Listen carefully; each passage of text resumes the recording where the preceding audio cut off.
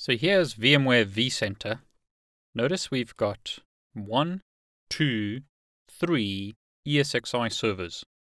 So that's these two servers on the left-hand side, as well as this ESXi server on the right-hand side. I've got a separate management network that's allowing me to manage these devices.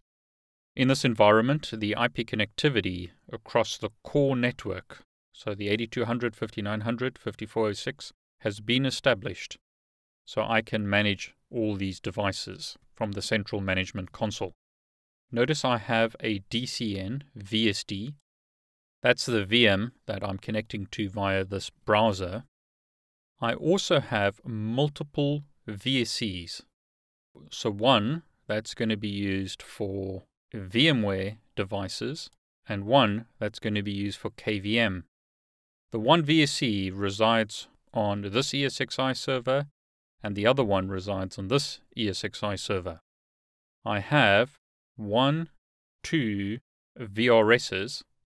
These are Nuage Networks VRSs. So one is running here, and a third one is actually running directly on KVM. It's been installed directly on the Ubuntu KVM server, so it's not shown in this list.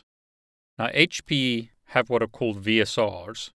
These are different to VRSs a VSR is similar to a Cisco CSR. It's basically a virtual router. They are only used for doing inter VLAN routing and advertising BGP routes and OSPF routes in this topology. They are not really part of the core Nuage networks scenario that I'm trying to explain. I also have an Ubuntu DNS server. I have a VMware vCenter server, which is what I'm connecting to at the moment. And notice I have some user VMs. So user VM 1, 2, 3, and 4, those user VMs are hosted on these ESXi servers. So two of them on one ESXi server, two of them on a separate ESXi server. This ESXi server doesn't have any user VMs, but it could have. I am hosting, however, two user VMs in KVM. So I've connected to the KVM server, which is on the right hand side in our topology. And if I type virsh list, you can see that I have two VMs, VM2 and VM3, running within KVM.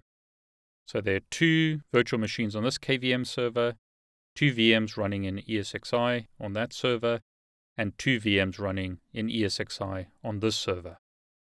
So that's sort of the topology. Let's have a look on the VSD. So first thing is when I go to domains, I can set up different domains and I can set up different subnets. So let me make that a bit bigger. So in this topology, we've got domain one, we've got a zone, we've got different subnets, and we'll be able to see if any devices are connected to subnets. So as an example, there is a VM interface connected to this subnet. And if we move to the right here, we'll be able to see that we have user VM1 connected to that subnet. Here we've got user VM4, user VM2 connected to subnet 2, and user VM2 connected to subnet 3. Now, you might not use this interface when managing your network. You might use an orchestration tool external to this, such as OpenStack. But what I want to show you some of the power that you see through this GUI interface. So as an example, I can see two VSCs and a VSD connected to this VSP. Notice we see the name Nuage VSP. So even though this is an HP product, I'm still seeing the Nuage name. So different services are running on the VSD. On the VSC, we can see some VRSs.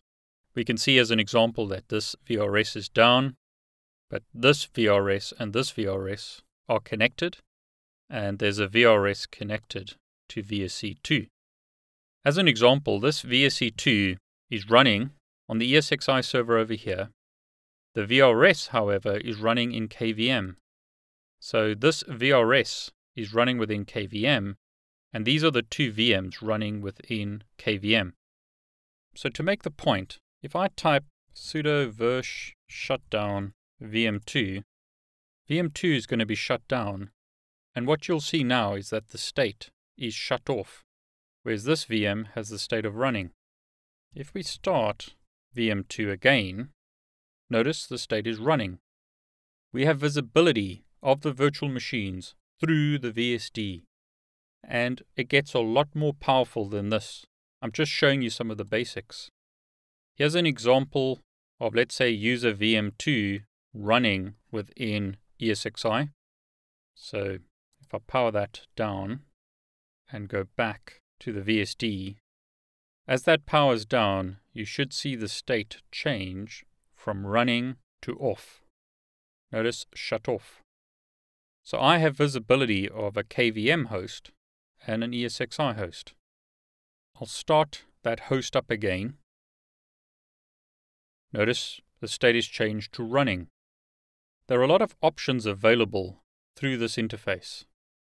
I can see monitoring information, I can see static routes, I can see policies, I can see as an example the IP addresses that have been dynamically allocated to these devices.